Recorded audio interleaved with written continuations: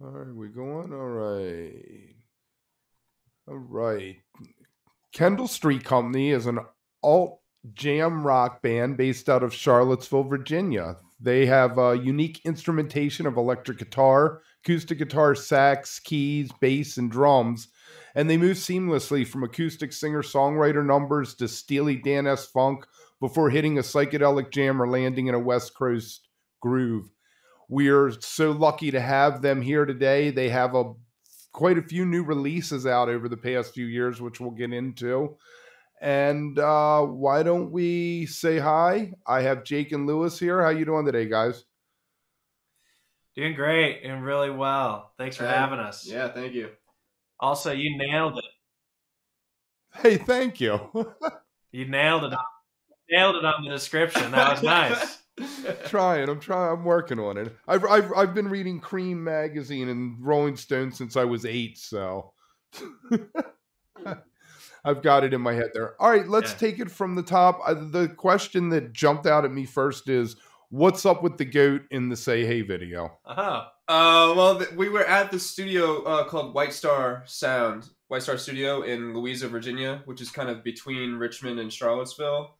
And there's also an active goat farm, as well as being a music studio. So there were what, three. There's three or four goats there. yeah, I think three goats. And they just they're just like hanging out outside the studio. So whenever we step out for a breath of fresh air, we just we hang out with the goats a little bit. Nice, nice. They're a little fun and demonic too. I, I like the way they the little tiny horns. They don't have big horns. They don't make them nuts. Right. Yeah, That's so and their eyes are crazy. Um, Ed, you were at the studio recording which album? We've done a number of albums at that studio. Um, in the Say Hey video, we were recording uh, The Year the Earth Stood Still. Um, I guess, but we recorded both parts, Ninurta and Inertia, uh, during that session. Oh, oh, so so they Uh, they were. I was going to ask this later, but let's jump into that. It's two albums for the people who don't know, and you released them two separate dates, right?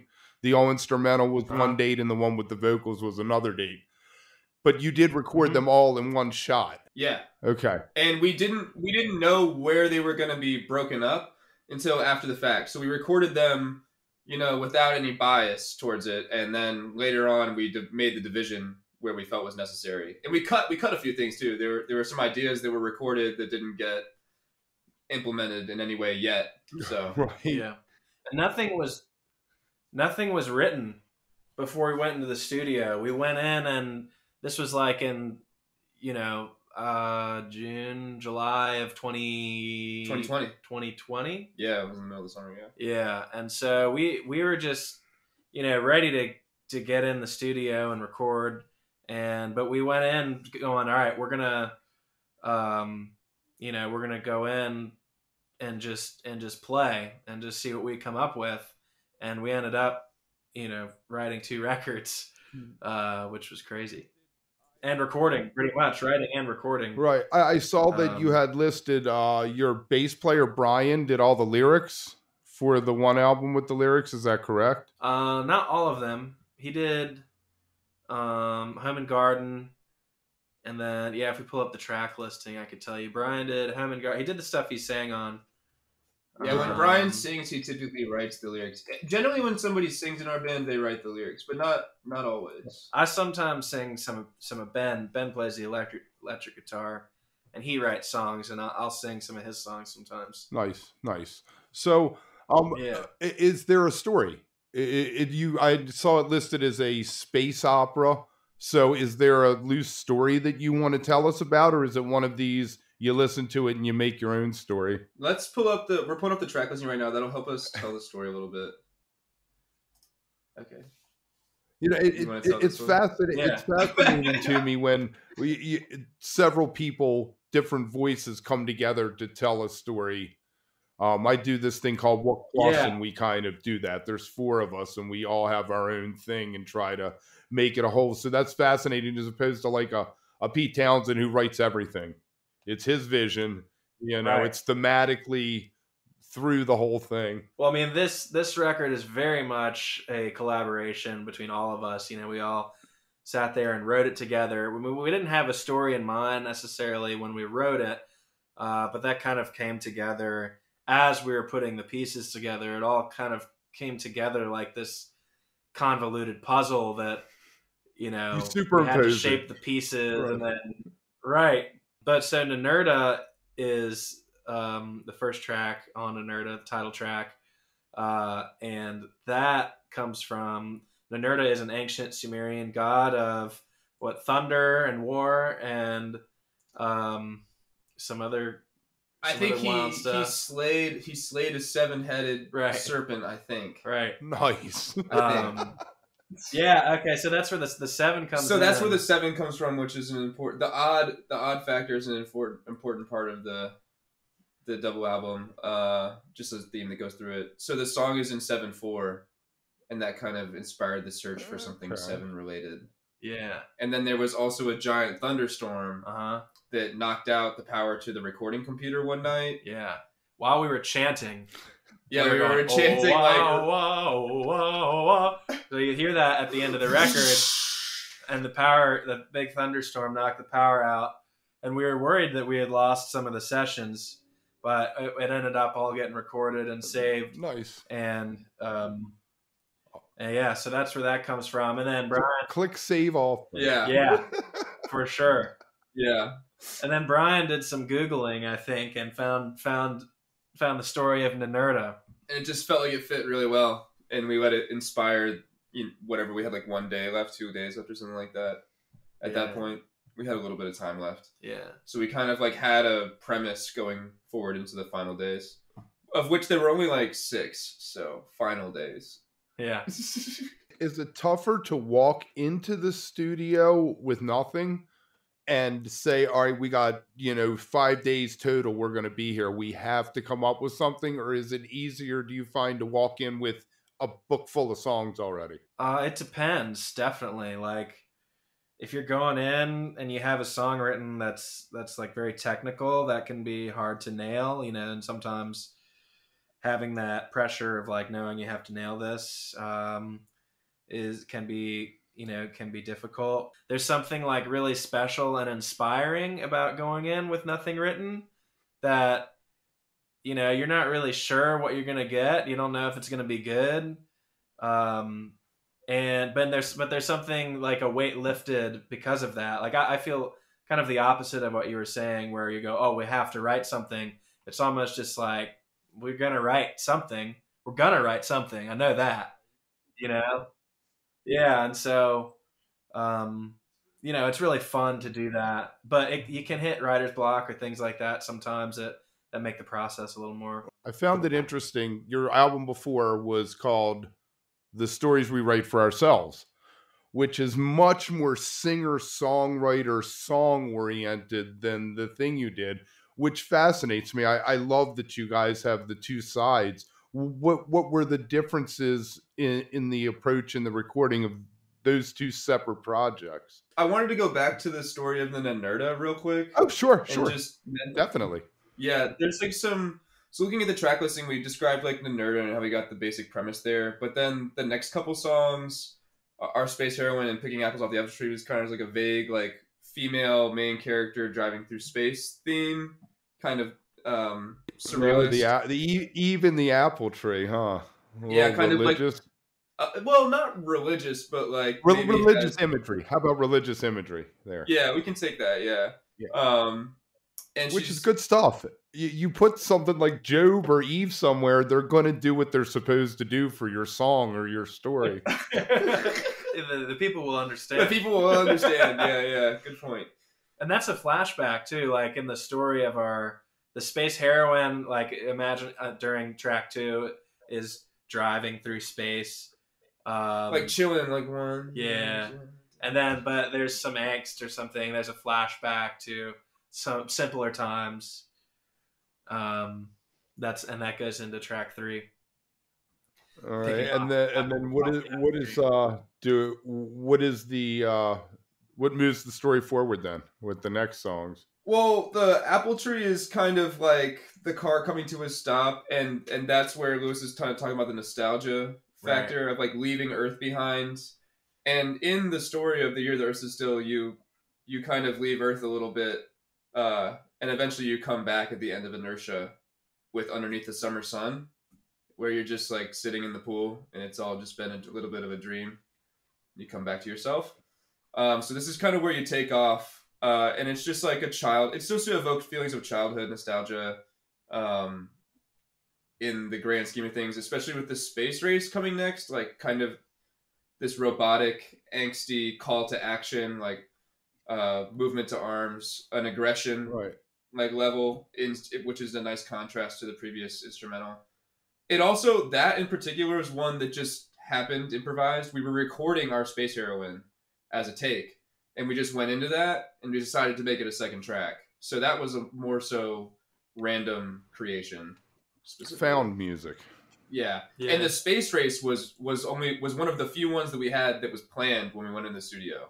We had the we had the basic guitar idea and the idea that we wanted to maybe have use some samples and and that's what occurred. Yeah, and Ben went and found that JFK speech after the fact and just dropped it in there. And I think right where he dropped it the first time is where we left it. It was perfect. Yeah, so as far as like thematic anchors, that was the only anchor we had on the Nerda. And so we knew there was we were gonna have to deal with space because we we had this idea to call it the space race, you know. So um that was the only anchor we had for that one. And then on Inertia we had one song planned as well. But that was it.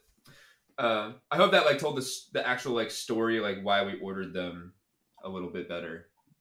Yes, Uh, definitely, definitely. there's the pink flying saucer theme, which is like aliens coming to visit you, and sometimes you wish you could be taken away. And then they come for you, but they leave you behind in Ninurta, and then they come back at the end of Inertia, and this time they take you with them. Yeah. Okay, very nice. I'm serious. That's literally back. what we were talking about. It sounds crazy.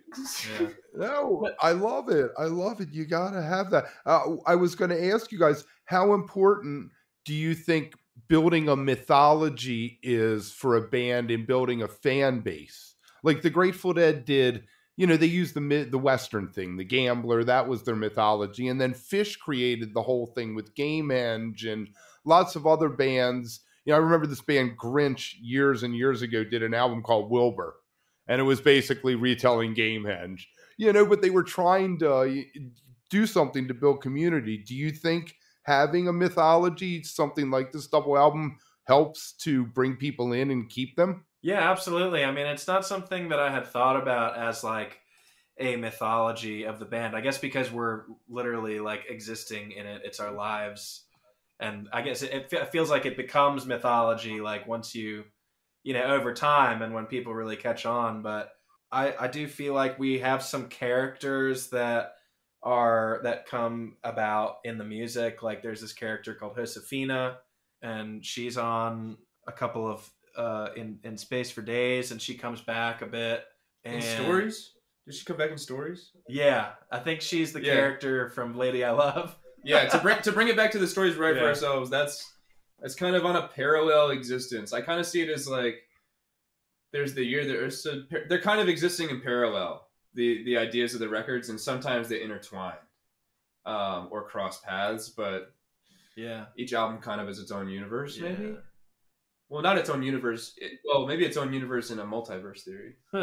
There you go. And then there's other characters like uh, Shanti the dolphin. Yeah. like we did the nautical aquatical and so those are those are kind of things that i think people really connect to you know people love to hear about shanti and they they love to hear stories about That's the thing that ends up on a lot shirt when you get big enough. Those kind of songs. Right. That's you know kind of the thing I'm getting with. It, it- it's what builds it because then someone else I see you at the grocery store and I'm like, I knew that. I knew that band. I know that song. yeah yeah. definitely i mean I, I do think that's important is like giving the audience something to connect to that is like adjacent to the band that is not necessarily like only people who are on the on the inside would know Right. right we've got this character called lenny the lemon Lenny the Lemon. Okay, what's that? Lenny the story? Lemon, yeah, who like only comes out at festivals, and, and he like it's a festival lemon. We and we go out in the audience and toss the lemon, And People so take bites of the lemon. people too, take bites out of the lemon, and Which, so woo, damn. yeah, And that's kind of a new character in our. We think he's going to be on the terrestrial equestrial, which is a follow up to the nautical aquatical about land animals. Oh, nice, nice. Yeah. Very nice. So uh, since then, since you did the space opera, though, you did another album which I found fascinating called Untitled California Project, and it seems like it came Yeah, from like yeah. A Karl Denson Greyboy vibe in California Wanda. You know, California Seventeen is like straight ahead country rock ditty kind of thing. I love Yeah. it. I love that thing. I just, We could we could spend hours talking Oh. about California Project. Oh, it's so weird. yeah, it's a weird project. yeah. but it was pretty fun. So so the background of that project is that my I have cousins that live in Ohio and they have a lake and we stayed in in their house one time and our guitar player Ben was like fascinated with their with their story and with their existence Their way of life. and the and the fact that they had moved to California some of them including one of them named Mark and uh and then we were talking with Mark who works in LA and like sound editing uh, about doing a TV show together potentially, or like a web series show. So we wrote like twenty to thirty little like sound bites for this like car- cartoonyish uh, like comedy info show thing, and then some of those like little snippets turned into actual songs, and th- they tell the story of the journey of uh, Mark from Ohio to nice. to LA. I love that kind of that way of doing things. There, there's a band out in New Orleans called the Radiators, and one time they wrote a fake set list and went out and played the fake set list and Love just it. made it That's up. funny. Oh, that's cool. Yeah, yeah. And then we your and then we did that trip.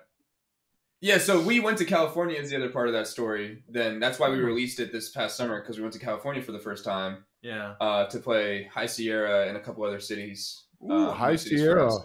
That's like the, Yeah. the mother jewel of California festivals there. It was Yeah. great. We had two sets. We had a late night set and a like an afternoon evening set, which was really nice. and we've got both Cool. of those sets uh, multi-tracked and recorded and mixed, so they'll be coming out on What, the Bandcamp Nugs. or Yeah. Nugs? Nugs. Yeah. Right. So, so Nugs in our guys- website too. Yeah. how'd you guys end up with Nugs? Is that just your management getting you in, or did they approach you? Well, we've just we've wanted to be on there for a while and haven't been able to like consistently record audio that we were happy with of our live shows. Uh, okay. You know, Okay. uh, and then last year we got an in-ear monitor rack. We built one uh, that can also multi-track record. So for this entire year, we've been able to multi-track Oh, nice. and launched with like 20-ish shows at once. But it took us a while to get the workflow right. Um, Right. and, you know, honestly, we're still working on it a little bit, but but it was just like finding the right method to make it sound as good as we want it to be. Sound. I hear you. I hear you with that. I, I for many years was uh, a taper, mics and soundboards, whatever. I much like the. I, I always like the soundboard, but it kind of sounds like a photographic negative sometimes. I think matrix mixes are the best because you can clean up, you know, the bottom, but you still feel the room. Yeah, feeling the room is important. We have uh, crowd mics that face the audience that we put up, um, and also like through a lot of the vocals, we all have vocal mics, so you capture a lot of air, which is nice. Nice. I like it. I like it. I'll have to uh, keep my eye open. The next time you guys come through Baltimore, DC, I'm definitely going to come down and check you out there. Oh, Um, Sweet. Are you are you familiar with the Ramble Fest? Mm, no, I do not know that. Yeah, check that out. That's coming up uh, Friday- this Friday, weekend. We'll yeah. be there on Friday. It's I think it's right around Baltimore. Okay, cool. I'll have to Um, look into that. Yeah, the Ramble. It's a it's this will be its first year, brand First new year. festival. Mm-hmm. I it totally did not catch my radar. The, I I went out for the first time to a club in Baltimore Saturday night in since before quarantine to see Pigeons Flocktoberfest. Wow. And uh, that was fun. The band that opened with opened for him, Yam Yam. You ever heard of them? They were pretty fun. They had a sax guy too. Yeah, heard, heard of 'em, you yeah. should have Yeah, a I've heard of festival with all sax people. That I'll would be fun, actually. Good idea. Saxapalooza. I, I wanted to ask you about two big names that I think of when I think of Charlottesville, Virginia, or Hornsby and Dave Matthews, obviously. And you guys kind of have are one of the few bands that have a similar in, instrumentation to Dave Matthews, in as much as the acoustic guitar and the saxophone. Were either of those guys influences on you, or is it just happenstance that you're in the same area that they are? Well, yeah, they were. Uh, Dave Matthews was a big influence on on me. Um, like, yeah, I listened to a lot of Dave Matthews in high school. Went to Big Phase, and uh, partly the reason I went to college at UVA was to start playing music in Charlottesville. Um, and so, yeah, definitely. And you know, it's cool to be in the same city and doing and doing it. But I feel like we've we've definitely grown as a band. You know, people used to make the comparison a lot. I I don't hear that at all, really, with you. Yeah, not so much anymore. Just uh you got to start somewhere, you know? I mean, Nirvana Yeah. was ripping off, you know, the Pixies and shit like that. you know, I mean, it's that that's how you learn. You got to crawl first. You know, um, T.S. Eliot once said that uh, good poets imitate and great poets steal. So do that Nice. with your I'll will. have to use that one. yeah, when someone says, "Hey, you stole that from me," all right. Um, so, You're so related, related to that, I I know a lot of bands that are jam bands. One, don't like being called that, and two, didn't really listen to jam bands growing up. What's what's the case with you? Were you fans of jam, the scene, like Phish fans beforehand, or were you musicians who fell into this scene? It's really it's really different for every single member of the band. Um, we all had different musical backgrounds. So like our drummer was on the drum line and in marching band and like was aware of the jam scene certainly yeah. growing up. Um, Well, he was really into Dave Matthews band too, the yeah. Uh, and big fan of Carter Beauford. Yeah, so there's heavy Yeah. inspiration there. And then our bass player uh, grew up playing classical bass, classical upright bass, and for a long time played upright in the beginning of the band and then switched to electric. Um, and he has like a hybrid electric too, sometimes that he plays or records. Um, Right. So he had like exposure there. And I grew up playing saxophone in the school band and like a jazz band and played in some combos. And so that's I wasn't really aware of the jam scene at all until I met these guys, and they they taught me a lot. That and Lockn' 2017 taught me a lot. That was my first music festival. Was Lockn'. Oh, wow! I had to Google all the bands. who who was playing that year? I don't know off the top of my head. Wait, I have the poster right here. we played I'll it. just- Oh yeah, Umphrey's McGee. Umphrey's, String Cheese, Phil Lesh, and friends. De- Dead and Co. Right? Or no, just Bob Dude, we've got a fucking great spot on Yeah. this poster. yeah. Uh, who else is up there? Uh, It's it's lined up. It's it's lined up uh, by day, and there was only four bands on Thursday, and so Oh, so we're we're like bumped on the top row.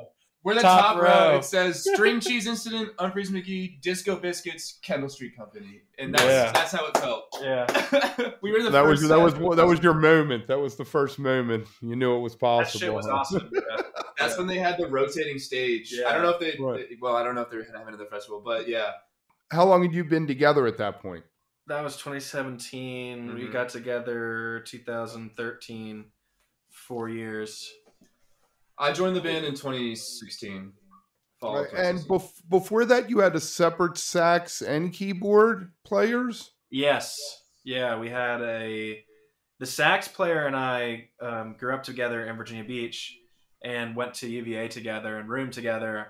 Um, and we had started playing together a little bit back before college. Um, but then we started like playing more together and uh, formed the band um, with Brian and Ryan, who are still in the band. And then we picked up Ben, who's probably the most ingrained in the jam scene oh yeah, prior to um you know he he was like really into Phish he loves Phish, and he was in. He's been in bands like his entire since he could like walk. yeah He's been in bands. yeah and and it's really cool because like i was into i was really into dave and he was really into Phish and so we could kind of get together and like you know meld those a bit and um i used, i used to say yeah ben uh Ben.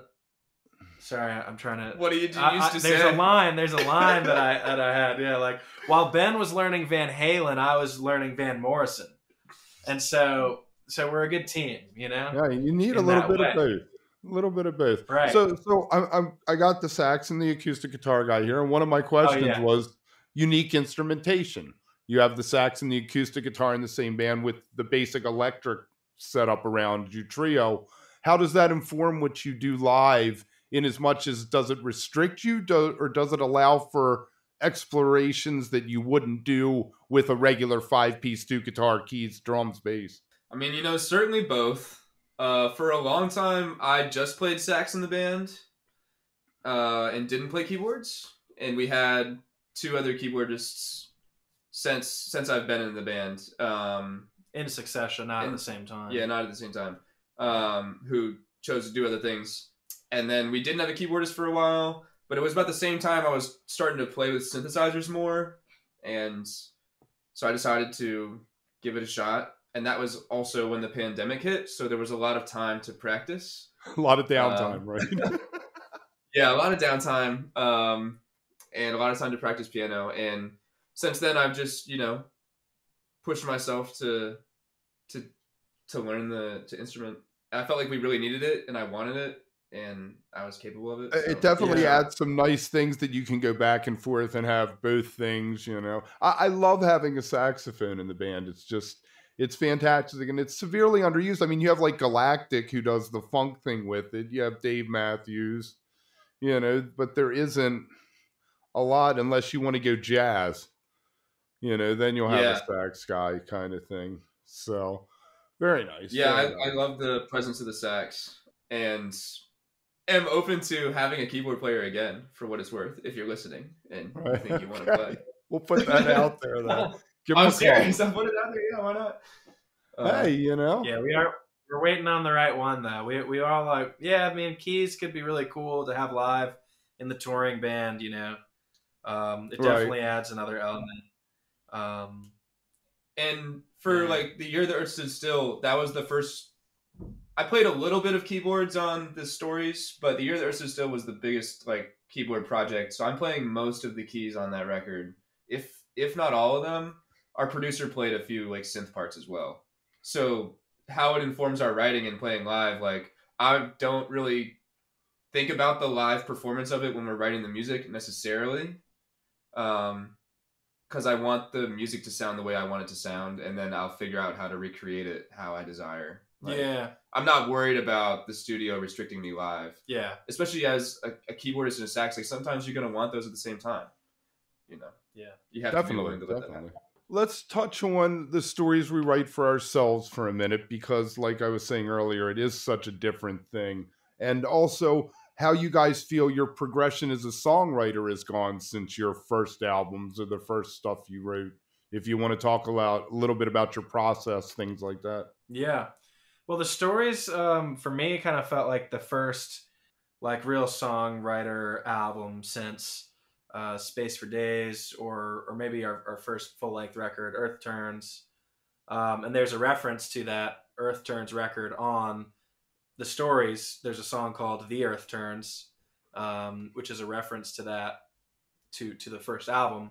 And I wrote a number of the songs on the stories. Um, and Jake wrote one, and Ben Ben wrote a couple, and so yeah, it was kind of our our, our first stab at, at the songwriter record um, Since the since beginning. since the beginning, and that felt really good. That was in, that was in a you know important time for that to happen for me because I had all these songs that I wanted to put out, and the band was the sound of the band was kind of veering, you know, a little jam heavy or whatever and so it, I mean, I think it's amazing and, and amazingly versatile um, that we're able to to put out a songwriter record, you know, in the vein of like Wilco or something like that. I, I love have- it.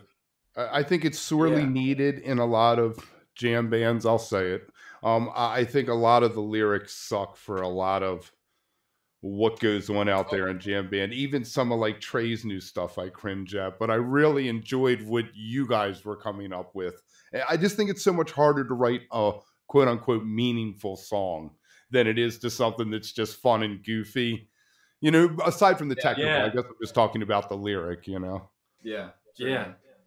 Um, but yeah, definitely. I've, I'm, you know, as a songwriter, I feel like I've developed a ton since, since the beginning, and you know, since I started songwriting, and I've honed in on more of like what story I'm trying to tell, rather than having a kind of a vague idea of what it is. But then I still draw inspiration from some of the old stuff that I wrote, and you know, there's a sense of uh, innocence, you know, in those songs and those songwriting uh, that that makes it really special. I feel. Sometimes the old stuff, when you break it back out, you're like, it, it does have a new light, or where you are in your life at that point makes it relevant. You know? So Yeah.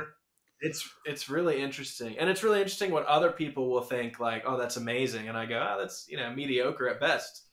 you know, so um, you, you can you can never. T- I always say uh, I have a degree in poetry. Um, and I always say that when you write a poem and you give it out to the world, it's like you're putting your baby out there to be slaughtered because people are just going to be Right. merciless and crush it.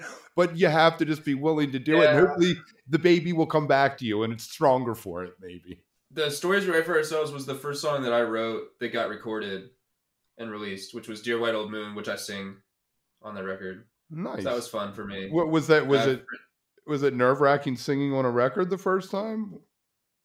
It was pretty nerve wracking. Um, in general, recording can be nerve wracking. Um, I'm sure I I got to ended get up- this right. I got to get this right. yeah, I mean, there's a limited amount of time and a limited amount of willpower, and you have to get what you need. Um, so it can be it can be a little anxious, but but singing it, it felt natural and fine. I had practiced it for a while, and I was like ready. And the producer, I also trusted to make it sound good. Scott Gordon is his name, and he he also mixed the Earth Turns and he mixed the Untitled California project. So he's your guy now, basically. Who what did he mixed one other thing too, right? um, he did the California. Did you say California? Yeah, I thought he did. He did Space for Days, Earth Turns. Oh, Space for Days too. Yeah, yeah. So, uh, uh, to to answer your question with a very long answer, I was chill. I was chilling. I was chilling. I love it. I love it. So, what do you guys listen to when you're not listening to your own stuff? What do you put on to relax? it's different all the time. Um, I go through different phases. You know. Let's see. Wood Brothers are my new favorite band. I mean, I've I've known them for a long time, but I haven't like distinguished them as my favorite band until recently. And it's weird because I don't really have favorites of anything. Like you can't, I don't, I won't give you, I can't give you an answer if you ask what my favorite movie is or my favorite food. Um, but yeah, favorite band Wood Brothers. I think they're fucking great. I've really been into Big Thief recently, Oh yeah, so that's what's been getting me. Shakey Graves, this band called Woody Pines, Tedeschi Trucks. Talk about putting out albums. Tedeschi Trucks with the four LP set this year. That's yeah, pretty crazy. That's- yeah. And I, apparently, they've been Um, doing the whole album, one whole album each night at their Beacon Run. Like the first night, they played Wow. the first album all the way through. that's pretty cool. Awesome. Yeah, that is. Pretty cool. Have you guys played yours through yet? The whole space opera in one sitting? Did- we did it. We played the Well, space opera. We did Ninurta in uh, Oh, out in, yeah. uh, Louisa or um, Gooch Gooch no Licking Hole Yeah, Licking Hole Creek Goochland, yeah, yeah. in Goochland. There's a brewery called Licking Hole Creek in Goochland. We got licked at the at the creek. yeah, we did. Louis and I, but we were able to play it live. It's hard because it it uses um, a couple different instruments that aren't our normal fare. So the bari sax is on that record. The EWI is on that. Isn't there a banjo, maybe? Uh, there's a banjo on the, um, On the Stories. stories. Yeah, Oh, we have stories, played okay. stories live. We have stories live on Spotify. We played it yeah, we did that. that um, was cool. in the beginning or in 2020 in 2020. I'm not sure. Yeah. I think so. Must have been yeah. So you guys, you put out, um, you had your couple albums, three albums in three years. Are you working on a new one? Or are you going to rest on your laurels for a little bit? We've got one in the bag, ready to release. Um, exciting! Yay! What's it Uh, called? It's called Separation 95 is the name of the album. All one word. Um and I'm sure we can share it with you, perhaps. Uh, and it it's eight songs. It's uh, a good like 38 minutes long, kind of like inspired by Dark Side of the Moon length. Um, I don't want to tell too much, but it has a Grateful Dead cover on it. Oh, nice. Interesting. Hmm, You know, I'm gonna have um, to think on That's about that. it. Nice. And when is this coming out? Think think about what, would it, what it might be. It's what a might pretty, be. it's a pretty fucked up Grateful Dead cover. It's, which is and Okay. it's awesome. Um, I mean, I- what- what do immediately, what you think I, I we go to their early stuff immediately, but like Born Cross-eyed or something is where my head goes when I think about you guys doing it for some reason. Well, yeah, I think you'll be pleasantly surprised. Uh, We'll at least be able to share that one with you. That'll be the first single. Will be will be that cover. And when does this come out? We're not at liberty to say yet. Uh, so, uh, Mostly when it because we literally don't know. We're, we are we, we are we're shopping it around to labels, so Yeah. we're kind of seeing where that lands. Nice. yeah, we um, recently finished the mastering process, and it and we finished the art, and it feels great. So Very nice. Yeah. And are you guys on the road now? Or are you chilling at home or? we'll chill, we're chilling at home for this week, and then come come Saturday, we will be on the road for 33 days straight. So Wow. this is our last week at home for a while. Nice. Yeah, Well, you guys be safe out there on the road. Um, I Yeah. think we're gonna g- gonna wrap this up with you guys. Uh, Amanda wasn't here. We might have gone longer, but I think we covered a lot of good stuff. Were you guys happy? I was gonna say J.J. Cale. That's another another songwriter and music I've been listening to recently. Oh, really fucking Love that.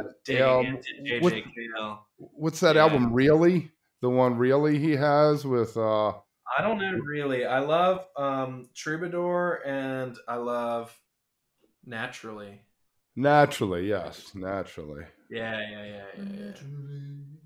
Uh, have you ever have you ever heard of a guy named Jesse Winchester? Kind of reminds me of J.J. Cale. He was uh he didn't want to go in the Vietnam War and moved to Canada, which basically killed his career. But uh, look him up, Jesse Winchester. Some really good songs. Cool. Will do. Very nice. And thank you guys so much. When do you think you're going to come through Baltimore? Well, the Ramble Fest is the is the closest one, and that's when we play on Friday. That's That's in, on Friday. technically in All right. Darlington, Maryland. Maryland. Yeah. All right, cool. I'll have to look that up. I'm uh, I'm going to see Bobby Saturday night, so I don't know if I can get someone for the kids two nights, but I'm going to try to come down there and check it out. Right on.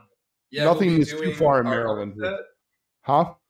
Oh yeah, we'll, we'll be doing our own set, and we're also playing a uh, super jam set with the Dirty Grass Players, Oh, neat. if you know them. And you're going to be recording this Yeah, as long as Oh. everything works. as long as everything works. Very nice. Well, thank you guys so much for for taking some time. And um, we're going to post some information about you. I'm going to probably next week at the end of the uh, next Monday when our episode comes out, we'll put out part of this. And then I think we'll release the whole thing maybe a couple weeks after that as a standalone episode. But I'll keep you in touch with you guys. And um, I'm mostly on Twitter. She's on Instagram. So we should have it covered with finding you guys. And I really appreciate it. It was so great meeting you. Great to meet you too. Thank you. Yeah, Thanks for having us. I hope your your kid heals up. yeah.